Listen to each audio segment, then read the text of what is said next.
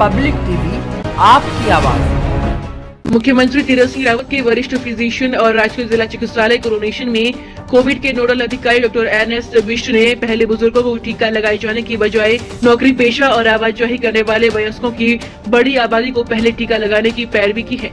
Doctor Bisht का तर्क है कि महामारी में बुज़ुर्गों और बच्चों को आइसोलेशन में रखकर वयस्कों को टीका लगाकर उसकी दूसरी लहर के घातक परिणाम को रोका जा सकता है। कोरोना से लड़ने के बाद लौटे मुख्य सचिव ओम प्रकाश वैक्सीन में नज़र आए। उन्होंने सभी नोडल अधिकारियों के साथ वीडियो कॉन्फ्रेंसिंग के माध्यम से बैठक की।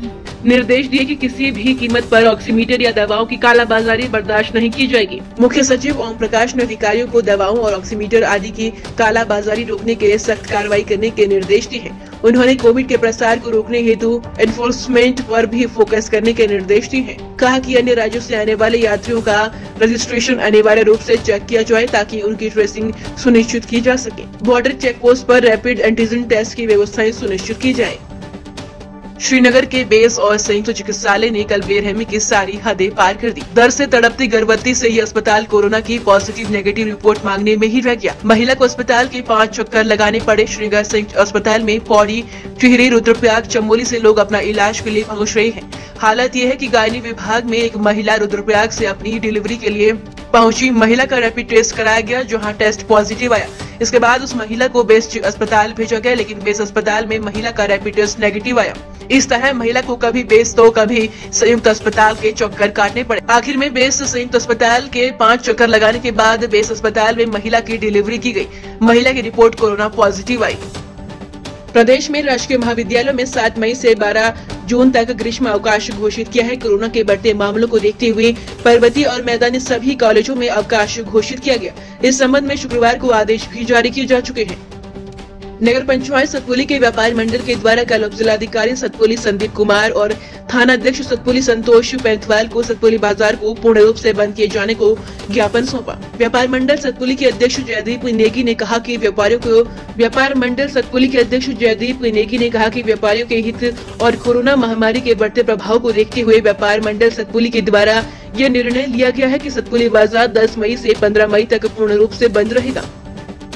जनपद प्रभारी और राज्य मंत्री स्वामी यतीश्वरन ने कल दूसरे दिन उत्तरकाशी जनपद के सामुदायिक स्वास्थ्य केंद्र ब्रह्मखाल में कोविड 19 से निपटने के लिए व्यवस्थाओं का स्थलीय निरीक्षण कर जायजा लिया। मंत्री के स्थलीय निरीक्षण के दौरान पूर्व जिला पंचायत सदस्य लक्ष्मण भंडारी ने जनपद प्रभारी और राज्य मंत्री स्वामी यतीश्वरानंद को सामुदायिक स्वास्थ्य केंद्र ब्रह्मखाल की सभी समस्याओं से भली भांति अवगत कराया। हमारे जनपद के प्रभारी, हमारे राज्य मंत्री आदरणीय यतीश्वरानंद जी ने और मान्य विधायक जी ने यहाँ पर अपने अस्पताल स्वास्थ्य केंद्र का दौरा किया। इसमें इसके तहत मैंने माननीय मुख्यमंत्री जी को उनके माध्यम से ज्ञापन दिया है अपना ये जो कम से कम दो पट्टियों के बीच का अस्पताल है, प्राथमिक स्वास्थ्य केंद्र अति प्राथमिक स्वास्थ्य केंद्र ब्रह्मकाल, इसमें अप टू सेवेंटी ओपीडी है। यहाँ का स्टाफ फार्मासिस्ट हो या मेडिकल ऑफिसर इतना रात दिन मेहनत करते हैं। अभी मैं समझता हूँ जो मेरे पास एक पुष्ट जानकारी है। अपने प्राथमिक स्वास्थ्य केंद्र स्तर पर भी डिलीवरी नहीं हो पाई है। और अपने एडिशनल पीएससी में पंद्रह पंद्रह डॉक्टर ने वो कराई है। डिलीवरी करवाई है। यहाँ पर लैब टेक्नीशियन नहीं है, यहाँ पे एक्सरे नहीं है। इस वजह से मैंने निवेदन किया है कि यहाँ पर एक्सरे लैब टेक्नीशियन पूरे पैथोलॉजी के साथ सुविधा हो ताकि हमारे ज़्यादा से ज़्यादा लोगों को यहाँ पे फ़ायदा मिल सके। चंपावत ज़िले के बनबसा कैंट एरिया में पिथौरागढ़ से आ रही ऑल्टो कार एक्सीडेंट में दो युवती समेत एक युवक घायल हो गया। राहगीरों की सूचना पर पहुँची 108 वाहन की मदद से घायलों को टनकपुर सामुदायिक स्वास्थ्य केंद्र में उपचार हेतु भर्ती कराया। मौके पर प्रत्यक्षदर्शियों ने बताया कि तेज गति से पिथौरागढ़ ज़िले से आ रही ऑल्टो कार अनियंत्रित होकर बनबसा कैंट एरिया के पास पेंट से टकरा गई, जिससे कार में बैठे दो युवती और एक युवक घायल हो गई धारचूला मुंसरी क्षेत्र के विधायक हरीश धामी की बेटी की देहरादून दून हॉस्पिटल में मौत हो गई। बताया जा रहा है कि विधायक की बेटी 25 वर्षीय पूजा धामी देहरादून के देहरादून में लॉ की पढ़ाई कर रही थी। जानकारी के अनुसार कल अचानक विधायक की बेटी पूजा की तबियत खराब होने पर दून हॉस्पिटल में भर्ती कराया था, जहाँ डॉक्टरों ने उन्हें मृत घोषित कर दिया। फ़िलहाल मौत का कारण दिल का दौरा पड़ना बताया जा रहा है। मसूरी में प्रशासन द्वारा, दुकानदारों द्वारा ज़्यादा दामों पर सामान बेचने और जमाखोरी करने को लेकर लगातार कार्रवाई की जा रही है। शुक्रवार को अधिश्वासी अधिकारी आशुतोष सती ने मसूरी की विभिन्न दुकानों की सघन चेकिंग की, जिसमें कई दुकानों पर सामान की रेट लिस्ट न मिलने पर उनको चेतावनी दी। अल्मोड़ा ज़िले के तल्ला सल्ट चौरीघार के समीप शुक्रवार सुबह आठ बजे ज्वाली से गाजियाबाद जा रही कार अनियंत्रित होकर 50 मीटर खाई में चौगिरी। हादसे की खबर जब ग्रामीणों को लगी तो ग्रामीणों की मदद आनंद फानन में घायल चालक और की मदद से प्राथमिक स्वास्थ्य केंद्र भतरौज खान पहुँचाया जहाँ डॉक्टरों ने चालक को मृत घोषित कर दिया।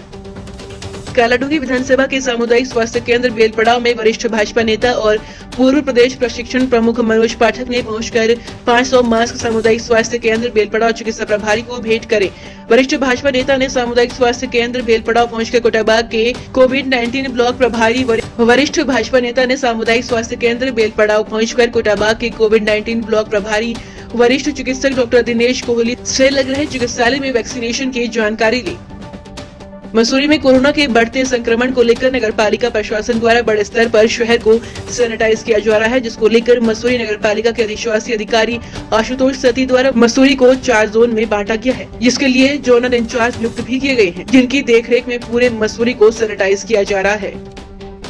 चंपावत ज़िले के सीमांत टनकपुर क्षेत्र में लगातार कोरोना संक्रमण के मामले बढ़ रहे हैं। इसके बावजूद भी आमजन द्वारा कोविड 19 नियमों का उल्लंघन करने के मामले सामने आ रहे हैं। इसी बात को देखते हुए टनकपुर कोतवाली पुलिस टीम ने पुलिस क्षेत्राधिकारी अविनाश वर्मा और कोतवाल जसवीर चौहान के नेतृत्व में पूरे टनकपुर नगर में फ्लैग मार्च निकाला। हल्द्वानी में बढ़ते कोरोना के मामलों को देखते हुए नैनीताल पुलिस की वरिष्ठ पुलिस अधीक्षक प्रीति प्रियदर्शनी के द्वारा नैनीताल पुलिस कर्मियों और उनके परिजनों के लिए और नागरिकों के लिए एक पुलिस एंबुलेंस का शुभारंभ कल हल्द्वानी के वरिष्ठ पुलिस अधीक्षक कार्यालय से किया गया। वहीं वरिष्ठ पुलिस अधीक्षक प्रीति प्रियदर्शनी ने बताया कि पुलिस एंबुलेंस का शुभारंभ पुलिस कर्मियों और उनके परिजनों और नागरिकों के लिए किया गया है।